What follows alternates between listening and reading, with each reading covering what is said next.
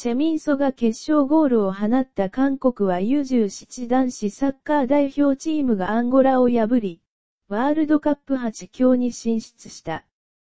キム・ジョンス監督が率いる U17 代表は6日午前4時30分ブラジルで行われた 2019FIFA17 ワット杯16強戦アンゴラとの試合で1-0と勝利を収めた。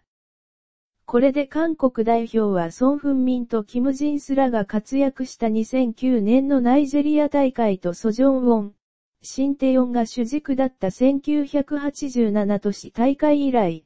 歴代3度目であり、10年ぶりに8強進出に成功した。韓国は日本とメキシコ戦の勝者と来る11日に対戦する。